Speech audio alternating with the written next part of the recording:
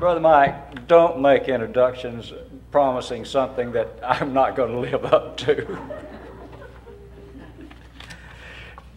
Our guitarist said he was upstaged by his wife. Listen, I was upstaged all afternoon. Brother Given, Brother Louis, Sister June, Brother David, they've already said what I'm supposed to say tonight, so I can just stop and go. But is there anybody here who wasn't here this afternoon? All right, for your sakes. for your sakes, I'll go on. but before I do, I've got to tell you something.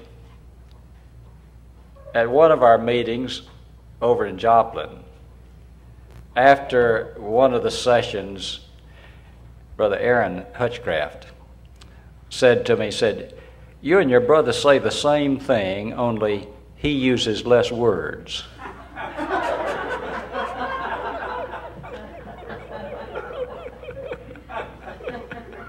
That's true. That's the only thing I outdo him in. no, I really said that because I'm making a disclaimer right now. I want to take the words of the Apostle Paul to the Corinthians and let you know, I know, that I've not come to you with excellency of speech or with superior wisdom, so that your faith may not rest in the wisdom of men, but in the power of God. Amen. And that's all I have. I've got to trust that He's going to take something from me and through me and offer something meaningful to you. And I recognize that so strongly that as this subject has been assigned to me, it's not that I don't have something important to say. I know that. But I just don't have the ability to say it in a way to do justice to what really is in what is going to take a whole session of three days and nights to deal with. I'm going to try to limit mine really to the subject because other aspects of the, the glory of the new covenant are certainly going to be covered by other speakers. But I'm supposed to talk about how the new covenant is distinct from the old. And please, if you'll bear with me in this, and I know you might want to run to other things, other aspects of the covenant, and as I say, other brothers and sisters will deal with that in due time. But right now, and not, believe me, it's not from form because I don't usually stop. As you know, in the past sessions where we've been together in these different places. I haven't done this, but I do feel the need to right now look to the Lord. Would you join me? Gracious Father, I want to say what you want me to say. I believe that I've done the best that I know how in preparing and writing out this message so that I can say just the words that I think are most appropriate. I want you now to help me to say it in the way that you want it to be said, and I want these people here to receive it just the way you want them to receive it.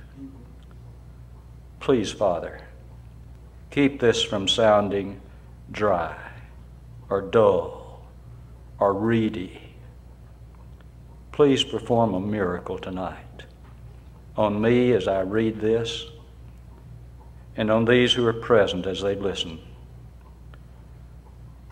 Lord, when you announced on that Pentecost that your promised new covenant had been fulfilled, you caused each one there to hear it in his own native language. Just so tonight, Father, cause each one in this place to hear in the truest language of their heart about your wonderful work in and through your Son, Jesus.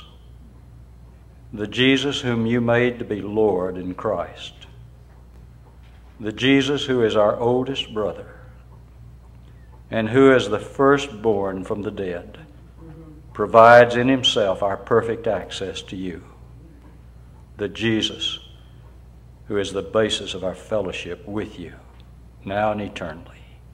I pray this in his name, and I thank you, Father. Amen. Amen.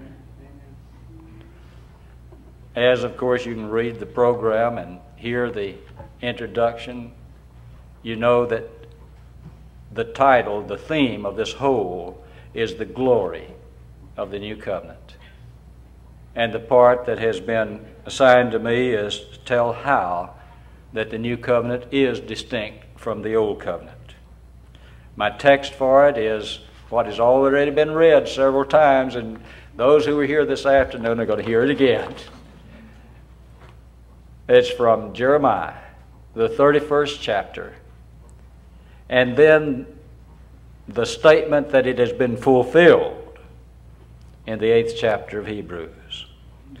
Between the promise and the fulfillment lay a gap of seven centuries. So let's listen again to the promise that was made seven centuries earlier. Reading now from Jeremiah 31 31 through 34, and I'm using the New International Version, but very little difference from the King James Version. The time is coming, declares the Lord, when I will make a new covenant with the house of Israel and with the house of Judah. It will not be like the covenant I made with their forefathers when I took them by the hand to lead them out of Egypt because they broke my covenant, though I was a husband to them, declares the Lord. This is the covenant I will make with the house of Israel after that time, declares the Lord. I will put my law in their minds and write it on their hearts. I will be their God, and they will be my people. No longer will a man teach his neighbor or a man his brother, saying, Know the Lord, because they will all know me from the least of them to the greatest, declares the Lord. For I will forgive their wickedness and will remember their sins no more. Amen. Now, 700 years later, the writer of Hebrews in chapter 8, verses 7 through 12, is stressing the distinction of the new covenant from the old covenant. And he prefaces it saying, if there had been nothing wrong with that first covenant, no place would have been sought for another. But God found fault with the people. And said, and here the writer quotes that prophecy from Jeremiah, just essentially word for word. And then he adds the observation by calling this covenant new. He has made the first one obsolete. And what is obsolete is aging and will soon disappear. Now, this was to readers that were saturated with the Hebrew mindset, conditioned upon a, by a covenant that was based upon law keeping. There had been centuries long practice of Hebrew ritual ceremonies. Now, when the writer of Hebrews declares that the new covenant is better than the old covenant, and therefore distinctive from it, he says it is better in many ways. And we could talk about the angels, the priests, the blood, the sacrifices. But those are all for one purpose to show that the principle upon which the new covenant is based is new and therefore better than Amen. the principle upon which the old covenant was based. Amen. The basis is new because the basis of the old was inadequate. Mm-hmm. It didn't bring about access to God. and continued favor in the presence of God. Amen. The old could only bring a person before a veiled God from whom they were curtained off. The new covenant is better because it brings us right into the Holy of Holies Amen. and gives us full and perfect access to God and full favor from God and fellowship with God. Amen. The old covenant could bring only so far, but no further. The new covenant brings us all the way Amen. for this life and for the life to come. The reason that the old covenant was inadequate was because its basis was God's law. The reason the new covenant is adequate is because the basis is God's Son. Amen. That's the distinction Amen. between the new covenant and the old. The need of mankind right here at the close of the 20th century is no different from the need of mankind in the early part of the first century. Amen. Our need is access to God. Amen. Our need is favor with God. Amen. Our need is fellowship with God. Amen. That's our need. And that we need an unshakable basis that this is possible. That this is not only possible, but that it is realized. Amen. That we are not looking forward to it, but we have it now. Amen. That's our need. Our need is this current relationship with God that can survive everything that happens within this life to these bodies of ours and to everything that's mortal. So we need to clarify one thing as we show or try to show the distinction of the new covenant. The old covenant was not faulty because God's commands were bad. Brother David made such an excellent presentation of that. It is not that God's commands are faulty, but people's hearts are faulty. The fault is not with God, the fault is with us. God's law, engraved by His own finger on tablets of stone, were not, are not bad. They are good, they are holy, they are just. But God's people, our hearts, are faulty. And they still are faulty. God's holiness and His command for us to be holy requires a power that's far greater than commandments. Amen. It requires God Himself in us to enable us to keep His will. Now, that point's critical, so I, I want us to really get it. The Old Covenant, which was made at Sinai, in summary form is this God said to the people, Here is my law. Keep it and you will live, break it and you will die. The people responded, We will keep your law. Mm-hmm. That, in essence, is the Old Covenant. Amen. Everything else about the covenant is secondary because it's based upon this fundamental and foundational principle of law keeping. Now, that's what I say is, is, is critical that we get that. And if we can keep from thinking about anything else right now, let's just think about the basic principle upon which the Old Covenant was based and the basic principle upon which the New Covenant was based, because that's what I am supposed to be talking about. Now, if we're to see the distinction between the Old and the New Covenants, it's essential that we grasp the principle upon which each is based. If this seems repetition, repetitious to us, I know it because it's so difficult. It was difficult for me to come to this concept. And I know that it may be difficult for some people besides myself to do this. But unless that we can see the basic difference in the foundations of the, new, the two covenants, we will wind up with a very shallow concept of the new covenant. We'll see only relatively minor differences between the two, and that most assuredly will lead us to miss the glory of the new covenant. So, at the sake of becoming boring, let's state again the Old Covenant was based upon the principle of law keeping.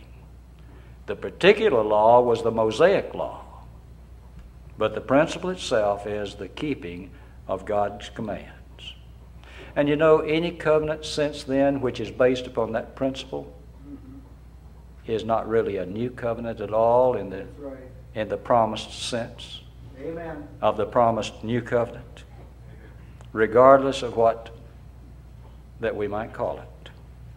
Only if the principle upon which the covenant is based is really different can it be said to be a new covenant. Amen.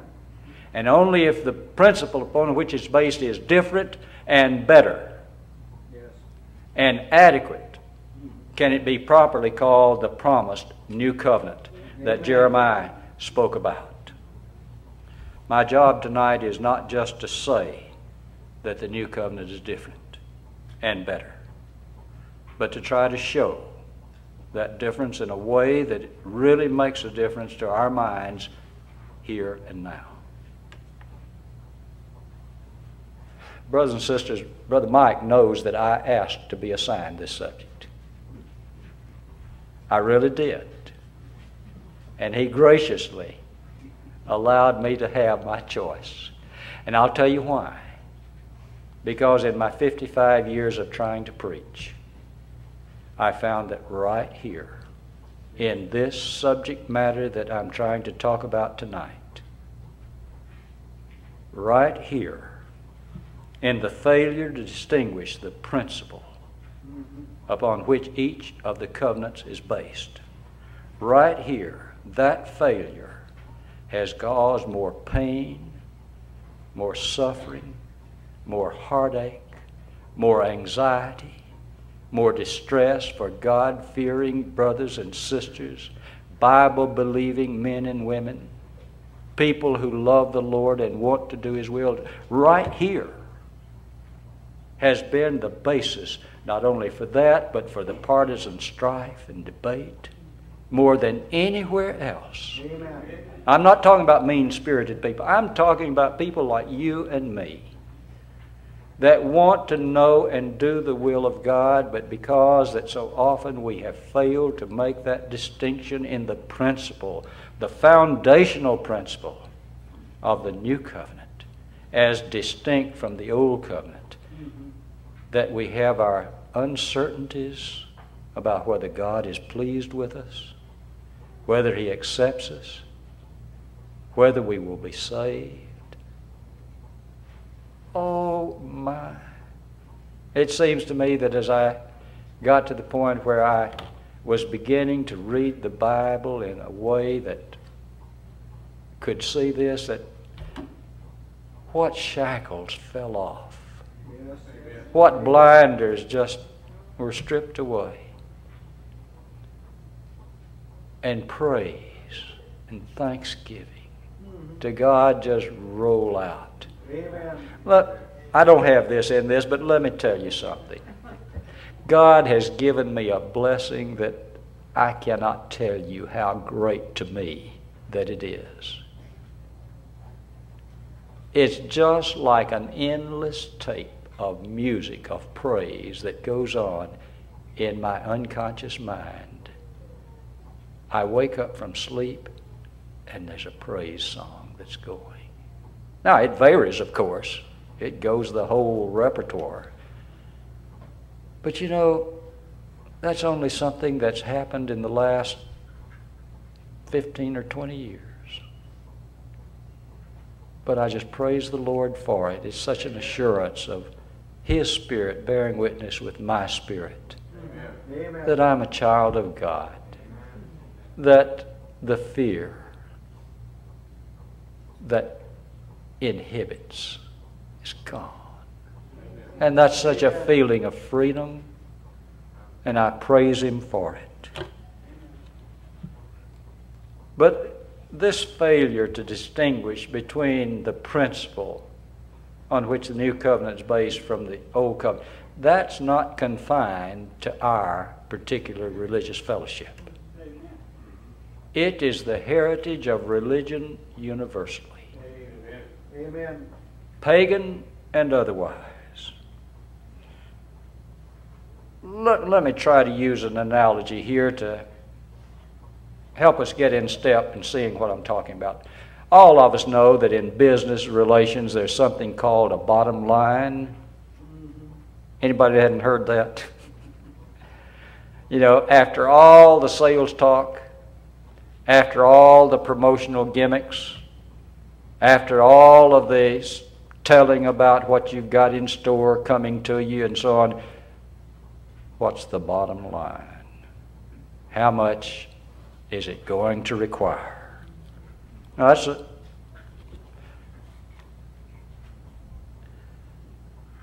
in every religion there's a bottom line. Amen. There's something that when you boil it all down, what does it cost? So I'm going to ask the question what's the bottom line in our religion? What's the bottom line in your relationship with God? You know, after you get it all, what does it take to get from God what you want? Access to God or the gods among pagans. Favor from him or them. That's what religion is about. That's just the basic nature of religion. Now, in every religion, there has to be some kind of basis on which a person can expect something from God before there can be anything other than just chaos in the relationship with Him. There has to be some kind of mutual understanding, or at least an understanding on the part of the worshiper of what he conceives to be the relationship. Now, that basis or bottom line, I say, is essentially the same thing in all religions except one. There's, in Latin, it's called quid pro quo. Literally, something for something. If you will do that, I will do this. That's just basic in human contracts, as well as the covenant with God. Covenant, contract, you know, we're talking about essentially a same th- kind of concept there, aren't we? And along with all those agreements is the understanding that if either party fails to live up to his promise, then the covenant is rendered null and void. And the other party is not responsible for fulfilling his promise. That's just the basic understanding in contracts or covenants, except one. Down through human history, all religions have sought access to and favor with God. Now, of course, the externals of those religions, the seals, the signs, the rituals, they vary. But the principle, I keep coming back to that. I will do this if you will do that. I will do that if you will do this. I mean, that kind of bargaining relationship, with the exception of the new covenant. Amen. All other contracts are based upon doing by both parties. We have to see this now if we're going to understand what the, the basis of the old covenant is and how the basis of the new covenant is different. Amen. In other words, the principle of correctly keeping the fine print. of keeping the commandments, the ordinances, the principle of correctly keeping the laws, the commandments of one's God. Rightness with one's God on those bases is based squarely upon doing. And that's exactly the principle upon which the Old Covenant is based. Now, I don't want you to misunderstand me here. Don't conclude that I'm saying something, Brother David. He labored with this, didn't you? Don't conclude that I'm saying something that I'm not saying, or that I'm even implying something that I'm not implying. I'm not saying in any sense that the commandments of the Old Covenant are on a par with the commandments of the pagans. Not at all. God's commands are from God. Amen. God's commands are holy because He's a holy God. God's commands are faultless because He is faultless. Amen. The fault of the Old Covenant was not on God's part Amen. The fault was on the heart of the people, which is the inability. The inability of you, of me, of everyone else to live up to the commandments of God. A perfect God has a perfect law, and a perfect law requires perfect people, and I'm not perfect. And if you haven't found out yet, you're not either.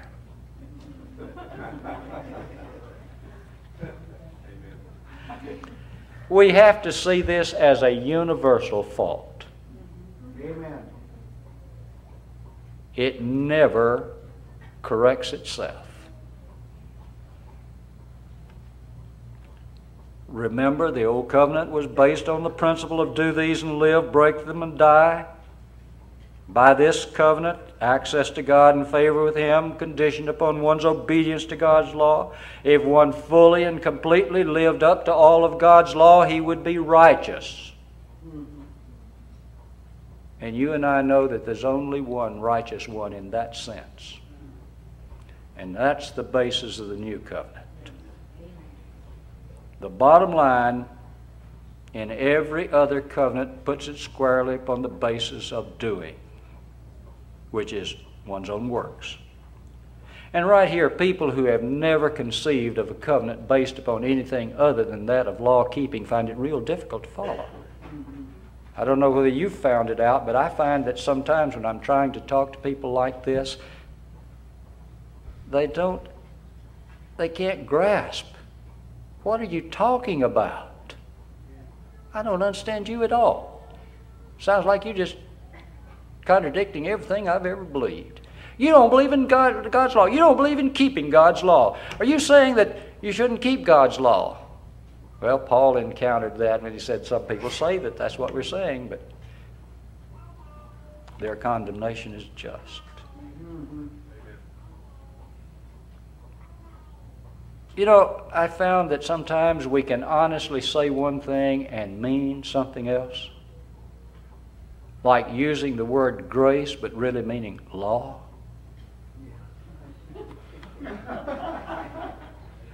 of, of saying the word free but really meaning bound?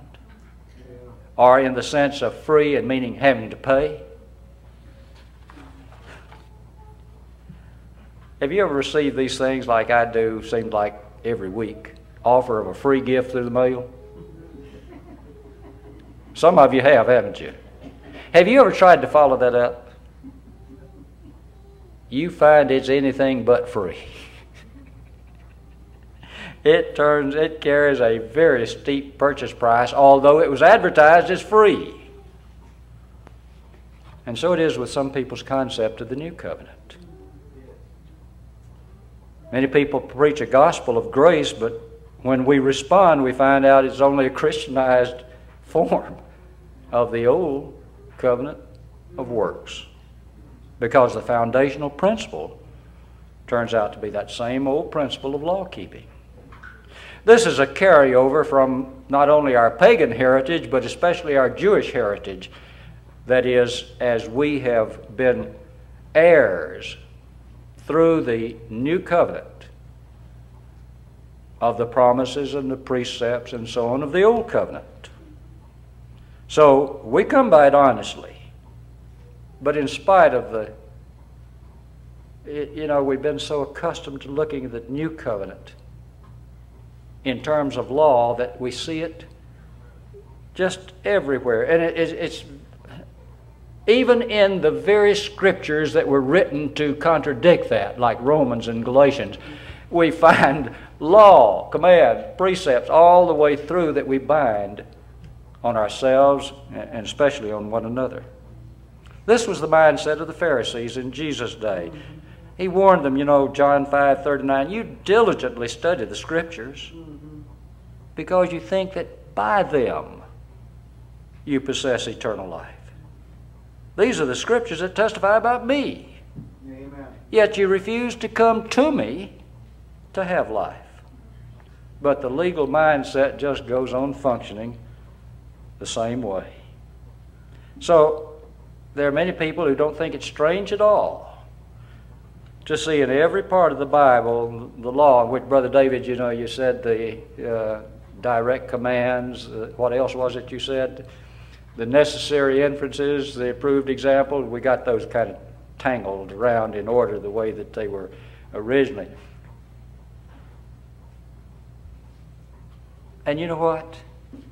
We, from my wing of our restoration movement, have even seen in the silences of the Scripture a law. the unwritten law of silence. We can just see law everywhere we look. If that's, you know, it reminds me about that fellow that went to the psychiatrist and he was given the Rorschach test, you know, where you have the 10 successive ink blots and you're supposed to tell what each you see in each one of them. And this fellow, in every one of them, he saw some sexually explicit something. At the end, the psychiatrist said, You know, I think it's very significant that you see dirty sex in everything.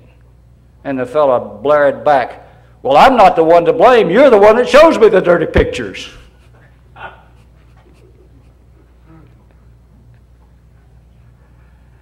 And so it is to the legal mindset. Just can't see anything but law in a covenant of grace, in a new covenant that's not based on law keeping at all. Amen.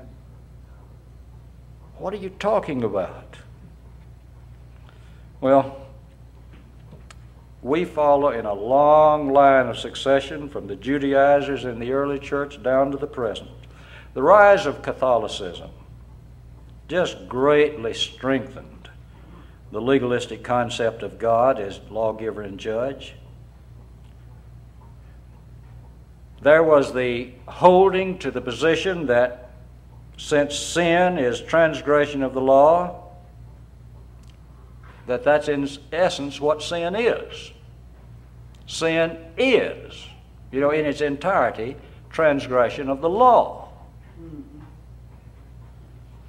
And so man's greatest need was to escape the penalty of broken law. Mm-hmm. That sounds reasonable, doesn't it? The essence of Jesus' work was expressed in terms of his satisfaction of the demands of justice for broken law. And so there was the imparting to the church the power to act on God's behalf in absolving people of the penalty for broken law, to administer the merits of Christ. So, conformity to church dogma became the means of access to God and favor from Him. Well, the Reformation movement began out of that kind of background. The chief concern of the reformers was reforming the system. In spite of their reaction to Catholicism, the emphasis shifted only somewhat because of the concept of access to God and favor with Him as a system. To them, God was still fundamentally lawgiver and judge. Mankind is under judgment because of broken law. Man's chief need is forgiveness. The work of Christ was essentially bearing the penalty that divine justice imposed for broken law. According to this concept, salvation was still, in essence, the repair of the damage that's caused by broken law. Do you react as I do toward all of this? That really is this the relationship with God that the Son has? That Jesus Himself has with God? We say, well, of course not, because He didn't transgress the law.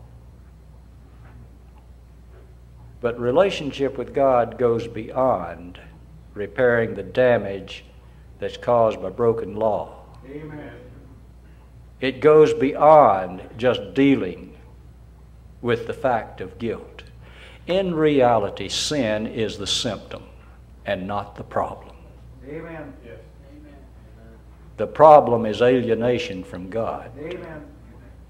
And until that alienation is bridged, the new covenant has not been seen. Amen. That which keeps us from God, even if it were all destroyed, taken away, would that necessarily mean that we had fellowship with God? Amen. What this legal approach, based upon do this and I will do that, conveys to me far more the cold and threatening atmosphere of a courtroom with a judge, and me there as someone under indictment, instead of when I used to go home with my brothers and my sister and my mother and my father, and we'd gather in the family room. There is no comparison between those atmospheres at all.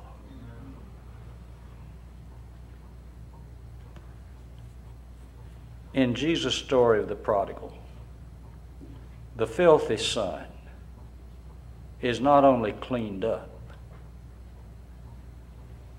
but he is led to sit at the table in the Father's house as the guest of honor. Amen. Now that's good news. Amen. That's good news. This my son who was dead now is alive. He was lost, but now is found. The leaders of the Reformation movement had yet to see that the essential work of Jesus involved far more than just dealing with the fact of guilt. Like the elder son, they had not yet come to realize that favor with God can never be based upon obedience to commands. In bridging alienation of sons from each other as well as from their father, we must first of all value intimacy. Mm-hmm. Amen. And then, secondly, we must share intimacy. Intimacy with God, intimacy with God's families, my brothers and my sisters. That is the essential work of Jesus. Mm-hmm. Amen. That intimacy with the Father and the Father's family is the most important thing that God wants. That's what the older brother didn't see. And that's why he missed the feast. Unfortunately, the reformers missed that too. I could go on and talk about the ways, how they spoke of grace but really meant law. Even faith was regarded in a legalistic sense as work. John Calvin saw that contradiction and he tried to overcome it by developing that doctrine of the sovereignty of God that led to predestined doctrine of predestination and perseverance of the saints. But to them, and I'm quoting, the covenant of grace meant compulsory conformity to divine law. Now, our restoration movement, that's getting down to us. We came out of that background. And it was the failure to distinguish between the new and the old covenant that led Alexander Campbell to give his celebrated sermon on the law at the Redstone Baptist Association at Cross Creek, West Virginia in 1816. In that sermon, Campbell stressed that we are no longer under Old Testament law, which the re- reformers just indiscriminately mixed up. But Campbell stated that we are now under the New Testament law. Do you get that? Mm-hmm. You see, reforming the religious system was Campbell's objective. And to that end, he and those who joined him endeavored to, quote, restore the ancient order. His theology expressed most clearly in his most famous book called The Christian System. The leaders of this restoration movement still viewed access to God and relationship with Him as a legal matter. In principle, their distinction between the Old and the New Covenants was simply the difference between Old Law and New Law. In essence, only the seal, the symbols, and the rituals were viewed as having been changed, not the principle itself. And so, to this mindset, what had been formerly commanded under one covenant might be prohibited under another. And what had been prohibited under the old covenant could be commanded under the old without seeing any contradiction in God Himself. Because to their mind, God was regarded in the same way that people regarded the divine rights of king. The king can do no wrong. And God can do anything he wants to because he's God. You know, to view God like this, I, I want to be respectful in the way that I say it, but it seems to me that this reduces our concept of God to essentially that of that 600 pound gorilla in the joke that can sleep anywhere he wants to. Is that the view of God? That Jesus came to present an arbitrary, capricious God? This distorts our concept of God. Amen. Jesus told a story about a one talent man, that's what we call him, the man that was given the one talent. And when his master returned, he was very, very disappointed and displeased. And what had happened was the concept of the master right. Had distorted everything that the servant did Amen. Because it was based upon that kind of view of rules keeping. What he said was, I knew you are a hard man, harvesting where you have not sown and gathered where you have not gathering where you have not scattered seed. So I was afraid and went and hid your talent in the, in the ground. See, here's what belongs to you. All of this servant's service, everything that he did was conditioned on this distorted view of his master. Amen. You were hard, so I was afraid. And Jesus condemned such a view of God. Amen. To conceive of God like that makes us, it, it just shackles us. We cannot freely and fully use what God is, has entrusted to us. If our relationship with God depends upon playing it safe with Him, then we are not free to be authentic sons and daughters of the Lord God Almighty. Amen. Most of our pioneer preachers viewed law keeping as the fundamental principle. And so they spoke of it in these impersonal terms, and I've got a long list of them here that I won't take time to read. I'll just, you know what it is divine dispensation, divine system, divine order, divine economy, divine, and on and on and on in these impersonal terms. It distorts our concept of Christ. Amen. I've had people to say, Now, I don't know why Jesus had to die. You hear songs like that. I don't know why. As though that it's arbitrary. You see, Jesus didn't really have to come to earth. But that's the way God wanted it. And so that's the way it turned out. Because if it's to satisfy a broken law, if it's still on the basis of rules keeping that we have access to God, it's hard to explain it in an ethically consistent Yeah. way. As I said before, this just does not at all convey to me the concept of God that Jesus in the four gospel messages conveyed. We have a daycare in our home congregation that has over 300 children in it, five days a week. I bring the chapel there every fourth week.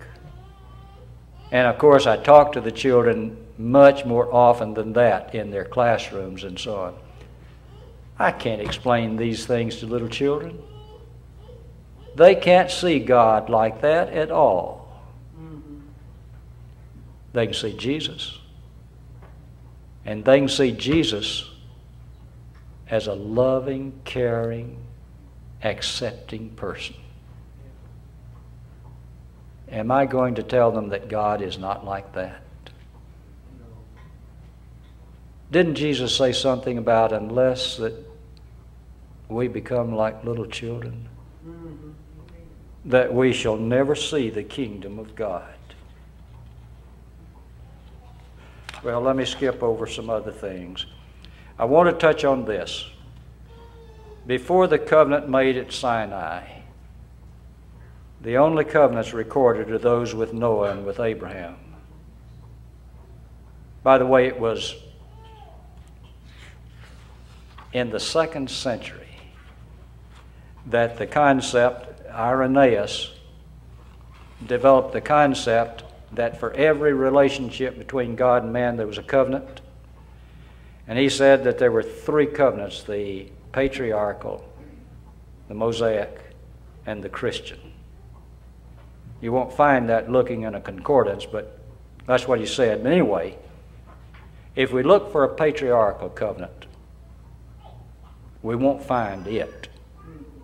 Well, as I said, we find only two covenants recorded the one with Noah and the one with Abraham. That's before the Mosaic covenant. God told Noah in Genesis 9 8 to 11, I now establish my covenant with you and with your descendants after you and with every living creature on earth. Never again will all life be cut off by the waters of a flood. That's it. There was no quid pro quo, no something for something. I will do this if you do that. The basis of this covenant was simply God's own faithfulness to his own promise. Amen. There was no requirement for Noah to do anything. Now, watch. Wait a minute. Don't turn me out yet. The only other covenant recorded is the one he made with Abraham. In Genesis 15 and 18, it says, On that day the Lord made a covenant with Abram and said, To your descendants I give this land. That's it. Like God's covenant with Noah, this one rested solely upon God's faithfulness Amen. and not on Abraham's requirement to do anything. The record says of Abraham, and Abraham believed the Lord, and he accounted it to him as righteousness. Amen.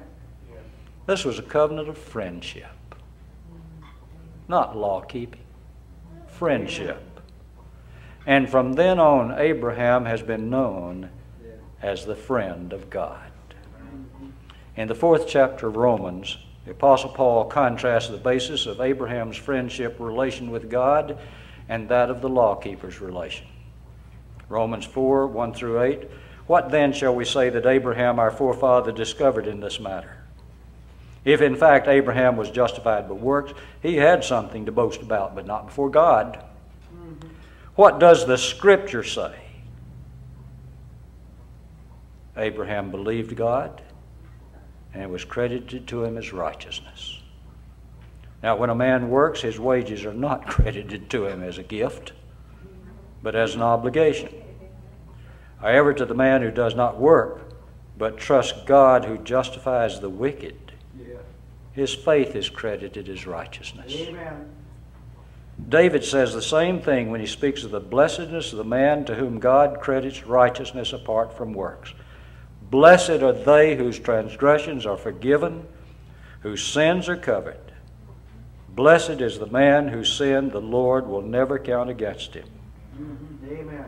And then from Romans 4, Paul begins writing in chapter 5, verse 1 Therefore, since we have been justified through faith, we have peace with God through our Lord Jesus Christ, through whom we have gained access by faith into this grace in which we now stand. Amen. And then Paul goes on to state in verse 13 what we mentioned. Well, I skipped over that a while ago in, in time. Sin is not, in verse 13 of chapter 4, sin is not taken into account where there is no law. In that context, he says, death reigned from Adam to Moses, even over those who didn't sin according to a commandment. But he said, sin is not taken into account where there is no law. Not being law, sin is not accounted. Mhm. That's significant. Amen. If we realize that Christ, as the basis of the new covenant, has freed us from that basis of law keeping, you see, sin is not charged against us. Mhm. I can sing like David, Blessed is Amen. Harold Key, to whom the Lord will not reckon my sin. Amen. That's the glory of the new covenant for me. And you put your name in there, and that's the glory of the new covenant for you. Amen. From chapter 5, Paul goes on in chapter 6, 14 says, Sin shall not be your master because you're not under law but under grace. In chapter 7, he talks about this conflict within him, this higher and lower nature. And he uses an analogy to the barbarian manner of taking prisoners.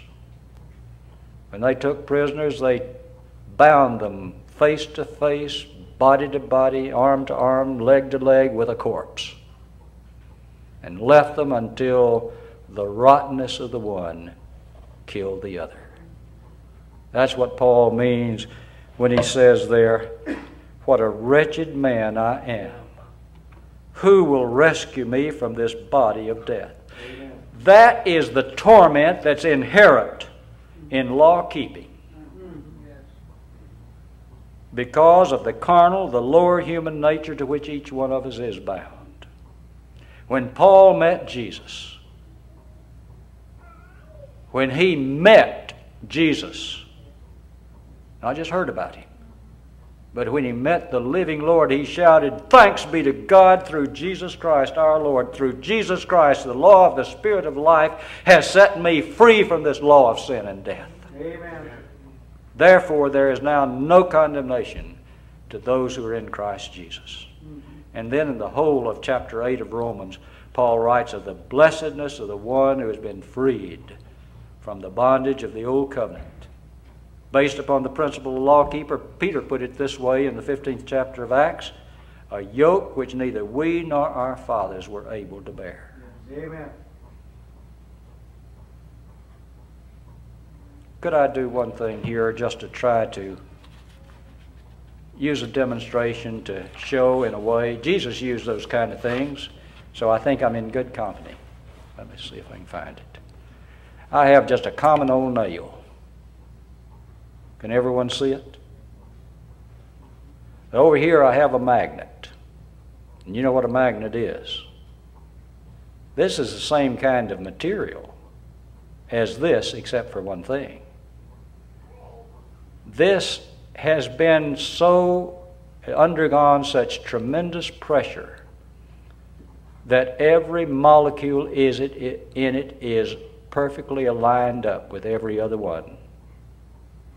I've seen this under electron microscope. Not this particular one, but I've seen magnets under electron mic- microscope where the polarity is reversed in every, just like a row of dominoes, they do a flip flop, every one of them, just right together. Well, I want to show you. Because of that nature of this, it has a power to attract that. Now, we all know that. But let me show you. While it attracts, if the weight is on the nail, when stress comes, when stress comes, it falls away. In itself, it is not sufficient to hold on to the magnet. But if I reverse it and let the magnet hold the nail, all the stress, you see, it's still there. From this to this. If our relationship with God is based upon how we hold on to Him, how we keep His commands,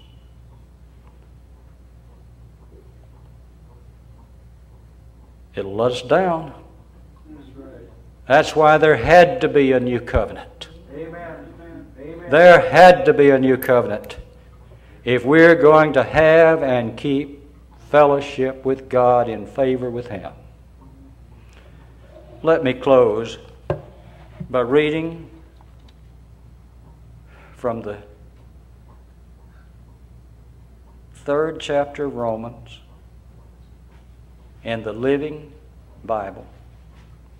Just listen. If you could, listen to it. Now do you see it? No one can ever be made right in God's sight by doing what the law commands. You see? For the more we know of God's law, the clearer it becomes that we aren't obeying them. His laws serve only to make us see that we are sinners.